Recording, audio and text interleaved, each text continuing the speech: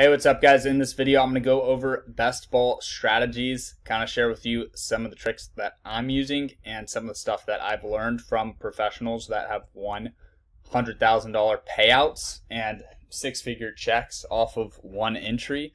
Um, what I have pulled up here is the price breakdown. I wanted to go over the rules of best ball before we get into the strategy part. I'm going to launch a live draft and kind of queue up the guys that I've been targeting and share with you guys why I'm drafting them. Overall, this is going to be an extremely helpful video. If you can invest a little bit of your time today, it will pay off. Watch this video and go draft. I promise you uh, it's going to pay off in a big way. But first thing that I wanted to go over here is how top heavy the prizes are. So really what we're looking at here is the final round of the playoffs not just the final round of the playoffs, but like finishing pretty high in the final round. So it's very it's a very long shot. So you really want to go after those high risk, high reward guys, the guys that maybe you wouldn't draft in your redraft leagues.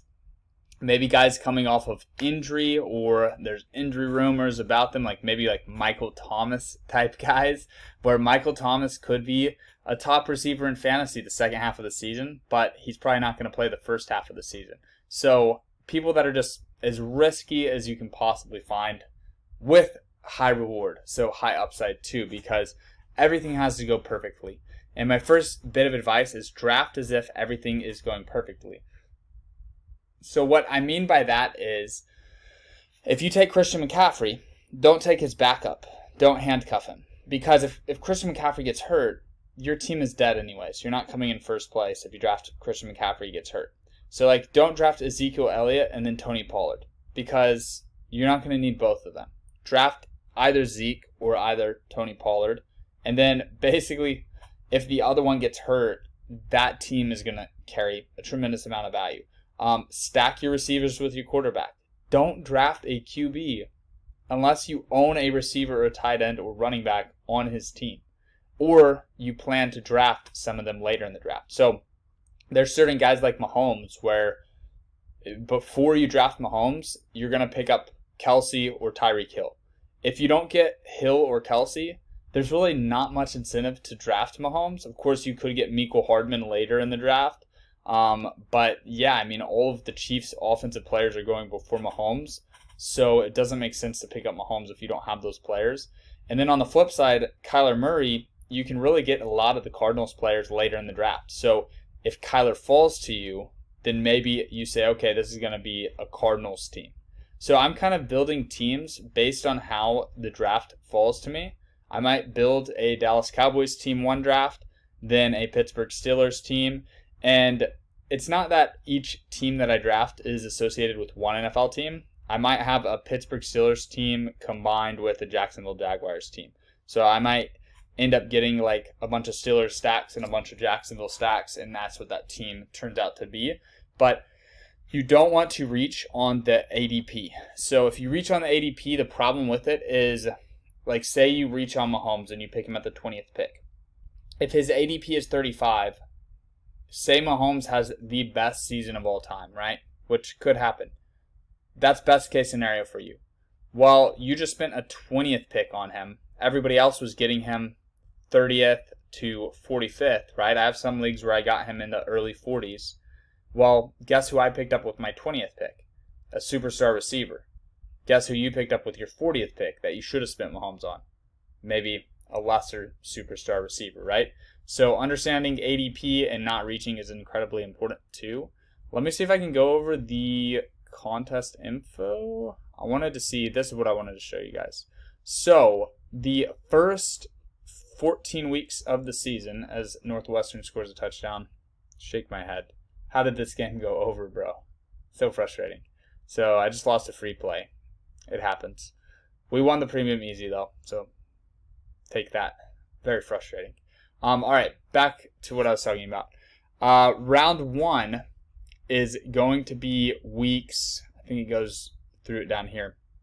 Here we go. Round one is going to be weeks one through 14. You're in a 12 man group. This is the group that you draft with. You have to finish top two to advance. DraftKings does it a little bit different in round two, three, and four. But the way that the puppy three is and the way that it is on underdogfantasy.com is round two will be an 18 person group. So you're up against 17 other people that have finished top two in their league. So let's just say that Tony Pollard's a league winner. Let's pretend that Zeke gets hurt week one and Tony Pollard is a top five running back. And everybody that drafted Tony Pollard, 90% of them finished top two in their leagues. Now, round two is going to be full of a bunch of teams with Tony Pollard. So if you drafted Tony Pollard with the 100th pick, and then the other teams in this 18 person group drafted Tony Pollard with the 130th pick, who do you think has the massive advantage in round two? The person that spent the 130th pick on Tony Pollard, right? So that's why ADP is so important. But that's kind of how it's going to flow. And round two is NFL week 15. So it is important, not super important, but it's important to at least look at the schedule and see what games should have higher scoring games because those are probably the stacks that you'd prefer to build if you had a choice. I think the Cardinals are a great team to have stacked. I think Kyler Murray, and if you can get a couple of his weapons, maybe AJ Green, um, if you can get Hopkins, if he lands on one of your first or second round picks, that would make sense. Um, but yeah, that's uh, that's kind of how I feel about that. Of course, you're gonna have to get through round 13, which is week 16, and then uh, round four, 230 person group. So if we go back to the prizes real quick, 230 person. So if you finish top 230, you did a phenomenal thing, and you might only get 200 bucks. So when you get to that final round, you better have a team built to perform in week 17 so you can finish top 10 and not top 50 because there's a massive difference there. But uh, let's get into a draft so I can show you uh, some of the things that I'm looking at. I think one thing that's huge is understanding when these tournaments start and when they close. So I think the Puppy 3 started about two weeks ago or so. So there may have been some teams that uh, got Gus Edwards like in the 10th round, which is a probably the most significant injury that I've seen. Um, but yeah, this this underdog platform is really really cool. I'm gonna start queuing players up as we get our ADP, but players that I've most regularly drafted. Um, let me queue them up as I see them. I mean, I've been getting Darren Waller a lot. Uh, I've been getting Kyle Pitts a lot. I don't know if it's going to let me queue him up yet. Okay, there we go.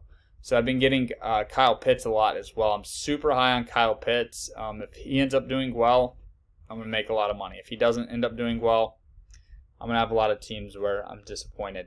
But I love getting both of these guys when I can. I try. I, I'll reach on Waller because you have to be a little bit more aggressive with him. But on Kyle Pitts, I, I let him fall to me. I've been getting him pick 49 to 55 ish. And when I get both of these guys, it's such an absolute luxury because I can account for them to cover the tight end position. And then a lot of weeks, they're both going to score a touchdown and they can cover the flex uh, position as well. So uh, depth is less of an issue for me at the running back and receiver position. So I'll scroll down here, kind of show you guys that I like. Um, one thing that I saw with James Robinson and Gus Edwards is James Robinson's ADP when Travis Etienne went down, his ADP was about 65, and then it's gradually dropped down. So his true ADP probably should be around like 31. I think on ESPN and Yahoo, that's where they have him ranked. So even though I am competing against teams that have drafted him like 60, 55, drafting him get at his ADP of 47.9 gives me a huge edge on winning the actual league and advancing to that first round of the playoffs, which does entice me. But on the flip side, whenever you see a guy's ADP drop significantly like that, um, like maybe Gus Edwards did, which let me see if I can find Gus Edwards. See, Gus Edwards is he's really getting drafted around 55 in most of these leagues, but his ADP is still 66 because it's an average of when he was going before J.K. Dobbins went down. Um, I don't really like drafting these two guys just because, yes, they'll increase my chance of winning the league, but I'm really banking on them to flop because if they don't flop, then what's going to happen is the teams that got them, like with the 100th pick and the 120th pick, are just going to absolutely murk the rest of us because none of us are getting them at that ADP. So you got to think there's a team out there that spent their 66th pick on Antonio Brown, and then they picked their 120th pick, Gus Edwards. And then there might even be a team where they got James Robinson like 80th and Tee Higgins 45th. You're just not going to be able to compete with them. Hopefully that makes sense. I've kind of driven that home a lot. Um, some of the guys that I think are really, really good, uh, well priced players. Well, Justin Herbert and Aaron Rodgers right there at 83, 84, I think is absolutely phenomenal. Um, Michael Thomas, his ADP is a little bit low, but I've been seeing him fall to like the 100th pick. So if you can get Michael Thomas at 100, I think it is worth it. Um, it's tough because most likely he's not going to have the prettiest season. But if he comes back and he does damage, I mean, it's going to be insane because you could get first or second round uh, production out of him. Marquez Callaway, absolutely love drafting this dude. Uh, I was getting him at like 103, 110, even. I think the the best price I got him at. I'm even reaching for him now at 90. I think he's gonna produce like some of these receivers we see going 40 to 60, you know, in that range. I think he's gonna produce like a a top 50 fantasy player. Um, like Ronald Jones here a lot. I mean, you're getting the number one running back on what's going to be a top offense in Tampa Bay. Of course, he has a split um, with two others. The good news for him is it looks like um, Giovani Bernard will be battling a high ankle sprain. Not off to a good start. Uh, but yeah, I mean, when I draft Ronald Jones and when I draft these guys uh, down here, I'm basically targeting guys that have extremely high upside if one other running back or receiver gets hurt. For receivers, they don't get hurt as frequently. So I personally like to draft receivers early because they're a lot more safer, a lot less likely to get injured. And then when I'm drafting, pick 100 to 150 or 100 to 200 really, to win a million dollars and to win this whole thing or 200k, whatever the top prize was. You really need the guys in this range to benefit from an injury, or just you need them to outperform their expectations by a ton um, but the way that they do that typically is through the other running back that they're featured with getting hurt. And it's just, it's way more likely that, say, you know, Leonard Fournette gets hurt and Ronald Jones becomes a top 25 fantasy player than it is um, that DeVante Parker somehow becomes a top 25 fantasy player. I'm not even sure if the other receivers, if like Will Fuller got hurt, I'm not even sure if DeVante Parker would jump to that top, you know, 25 level. Like, at least with Ronald Jones, yes, it is a long shot. I'm not saying that's going to happen, but there is a sliver of a chance that Ronald Jones could be like a top 25 fantasy player. Um, we saw it with uh, we saw it with the Jacksonville running back last year, James Robinson. We saw we saw him uh, explode, and, and he was a league winner. Same with Myles Gaskin. Like these are the types of players that we're trying to get lucky with. I think Tony Pollard's a great one to have at least some exposure to. Um, personally, I'm picking Sony Michel here because I think that Sony, without any injuries, could be a top 50 fantasy player. So to get him at 117, I think is insane, man. But that's kind of just my mindset um, down here. And then once I get to the 150 to 200 range, I'm targeting guys uh, at the receiver position usually. Um, although the one running back that I like to pick up down here, well, James White's a pretty nice one. Um, but the one running back I like to pick up down here, other than if I'm just throwing darts with backup running backs that could benefit from injuries, Ty'Son Williams is pretty uh, intriguing at 193. But the one that I really love that I'm trying to get to is Malcolm Brown. I think Malcolm Brown could be the guy in Miami. I think he could steal the show. I think he could be the Myles Gaskin of this year. He's always been really, really good in uh, LA with the Rams. It's just he's kind of been behind, you know, Todd Gurley and Cam Akers and guys like that. But when I'm drafting receivers uh, 150 to 200, I am going for guys that could get like 10 fantasy points in one reception. So say they catch a deep ball, a 50 yard touchdown pass. I mean, that's 50 yards, so that's five points, a reception, so that's half a point, and a touchdown. So that's like an 11 and a half point reception. Plus, say they catch a five yard pass, a 10 yard pass, they get three receptions that game. I mean, guys that fit into that category are like DeSean uh, Jackson. Um, I also like who else do I like? I'm kind of I'm kind of losing my mind that this draft hasn't filled yet. Usually it fills a lot quicker. It's Friday night at midnight. Maybe people are doing something. I don't know what's going on. I don't know if it's a glitch or what. Uh, but it's kind of fine for this video because I can just focus on this. Sammy Watkins falls into that category, especially with injuries with Baltimore. But with guys down here, I'm just looking for guys that might be able to plug into my lineup maybe three to five times throughout a 17 game season. And then I'm also really intrigued with whatever QB ends up falling to me. I mean, I try to get exposure to as many QBs as possible. I don't really like try to force it too much, except for with Justin Herbert. Um, love Justin Herbert. Uh, love um, Aaron Rodgers and love Matt Stafford. Those are like three guys that I just love their draft position. Um, but whatever QBs I get, I, I'm trying to usually complete stacks in this range. So if I can pick up like if I have Russell Wilson, I'll get D'Wayne Eskridge.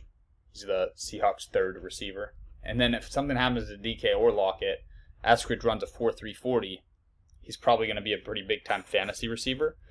And then the idea is that when we look at all my teams, when it's all said and done, um, whichever team had like the perfect draft where all of the picks up here didn't get hurt, and then all of the picks right here benefited from injury, and then the picks from here ended up catching deep touchdown passes at the right time. That's the one that's going to be making me rich at the end of the day. So the best best ball players basically put a couple thousand bucks in. They grind out all these drafts, and each draft they're giving themselves a really good chance. I'm gonna leave this draft, show you guys a recap um, they're giving themselves a really good chance to, or at least a sliver of a chance to win big. So if I go to my completed drafts, let's just see uh, one here. They're not all pretty, like four quarterbacks. I don't know what I was doing here. Uh, usually I like to get three QBs, four running backs, and nine receivers.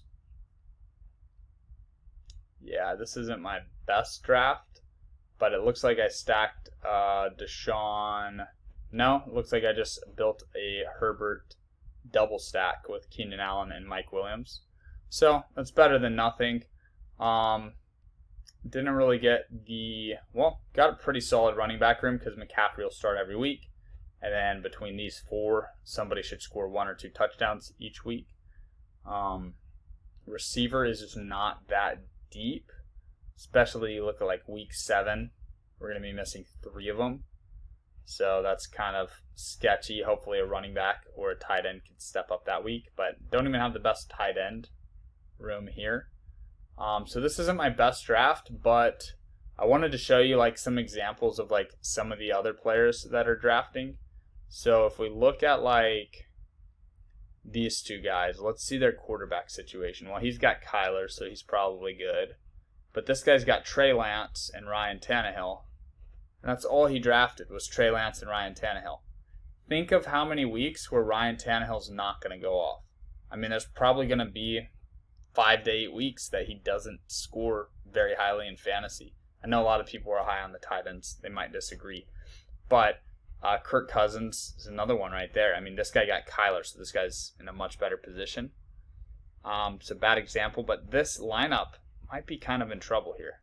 I mean, that might not be the best position to be in to have two QBs. One of them's not starting, and one of them is on a team that's potentially not gonna not gonna be doing a ton. I mean, I know they brought in, um, you know, they brought in the big receiver from Atlanta. I forget people's names. I'm sorry, Julio Jones. But yeah, I'm not as big of a fan of that team.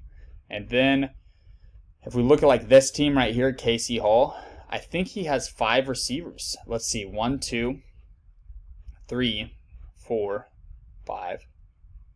So he's got six receivers, and one is Allen Lazard. So he's going to have a lot of weeks, man, where he's going to have a pretty weak flex, which is not good. In best ball, you really want to, you know, you really want to be proficient in these last four rounds. So you look at what I did. I got DeSean Jackson. He's a guy that can contribute, you know, maybe five weeks a year. Malcolm Brown, he's going to be the dude in Miami. And then I just put two QBs in here to make sure that I'm really scoring high in my QB um, position, which I don't know what happened here. Usually I don't get four uh, quarterbacks, so I don't know what my train of thought was there. Um, but Marquez Callaway, Jerry Jeudy, Mike Williams, Keenan Allen, Justin Jefferson. So I have a really, really strong uh, receiver and running back. But what I was trying to show you there, and maybe I should have prepared a little better to find a league where I could figure it out faster. But like, there's gonna be like three dead teams in every league, so you're competing for two slots against 12 teams, well, 11 other teams, but three of them are dead. So you're really competing against eight other people for two slots. So you have a very high chance if you know what you're doing and you know how to construct a roster, you have a very high chance of advancing into the playoffs. Once you advance into the playoffs, you're at least getting your initial investment back. And then if one of your teams can advance and go far, that's when you get that life changing money where you can get that six figure check off of a $5 investment. So I absolutely love best ball. I love it because it's so scalable. Um, you can really draft so many times. I have it memorized now where I'm just on autopilot. And there are $250 leagues. So if you want to invest 100K in fantasy football, you can do it through best ball. Whereas before best ball, like you could get into high stakes leagues, but you could never invest 100k into fantasy football. So it was a little, it was a little. I guess that was the limiting factor. But now you can, so it's a really cool thing. And um, full disclosure for me, I got a couple thousand bucks down into best ball, but I'm not going to be able to invest that big money until next year. But this is kind of like a practice run for me this year. And I mean, hopefully I, I win 100K or more.